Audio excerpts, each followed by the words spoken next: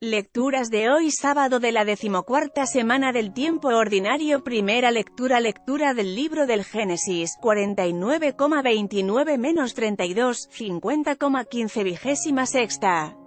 En aquellos días, Jacob dio las siguientes instrucciones a sus hijos, cuando me reúna con los míos, enterradme con mis padres en la cueva del campo de Efrón, el Gitita, la cueva del campo de Macpela, frente a Mambré, en Canaán, la que compró Abraham a Efrón, el Gitita, como sepulcro en propiedad.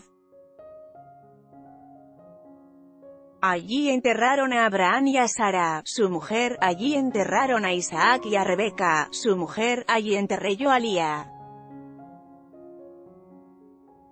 El campo y la cueva fueron comprados a los hititas. Cuando Jacob terminó de dar instrucciones a sus hijos, recogió los pies en la cama, expiró y se reunió con los suyos. Al ver los hermanos de José que había muerto su padre, se dijeron, a ver si José nos guarda rencor y quiere pagarnos el mal que le hicimos, y mandaron decirle, antes de morir tu padre nos encargó, esto diréis a José. Perdona a tus hermanos su crimen y su pecado y el mal que te hicieron.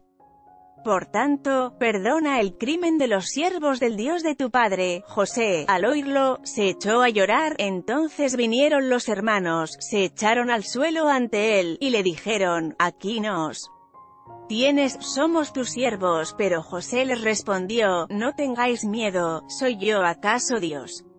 Vosotros intentasteis hacerme mal, pero Dios intentaba hacer bien, para dar vida a un pueblo numeroso, como hoy somos. Por tanto, no temáis, yo os mantendré a vosotros y a vuestros hijos, y los consoló, hablándoles al corazón.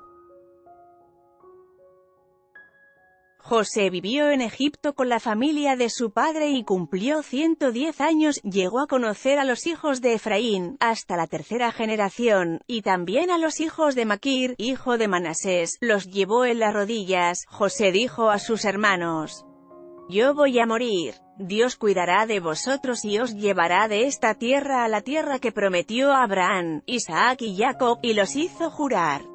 Cuando Dios cuide de vosotros, llevaréis mis huesos de aquí. José murió a los 110 años de edad.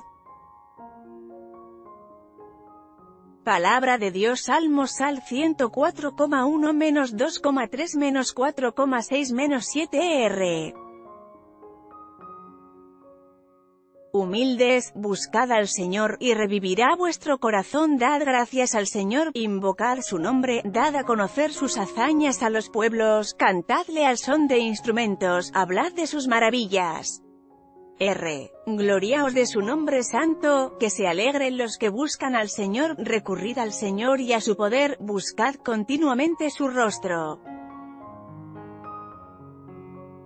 R. Estirpe de Abraham, su siervo, hijos de Jacob, su elegido, el Señor es nuestro Dios, Él gobierna toda la tierra. R. Evangelio de hoy Lectura del Santo Evangelio según San Mateo, 10,24 menos 33. En aquel tiempo, dijo Jesús a sus apóstoles, un discípulo no es más que su maestro, ni un esclavo más que su amo, ya le basta al discípulo con ser como su maestro, y al esclavo como su amo. Si al dueño de la casa lo han llamado Belcebú, cuanto más a los criados.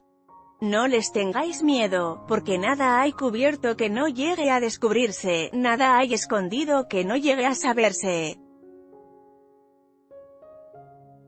Lo que os digo de noche decidlo en pleno día, y lo que escuchéis al oído, pregonadlo desde la azotea.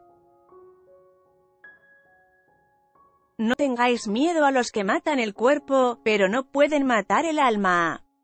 No, temed al que puede destruir con el fuego alma y cuerpo. ¿No se venden un par de gorriones por unos cuartos?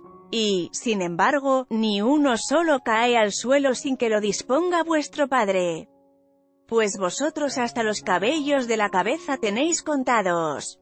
Por eso, no tengáis miedo, no hay comparación entre vosotros y los gorriones. Si uno se pone de mi parte ante los hombres, yo también me pondré de su parte ante mi Padre del cielo. Y, si uno me niega ante los hombres, yo también lo negaré ante mi Padre del cielo. Palabra del Señor Let's Blockades. Guay.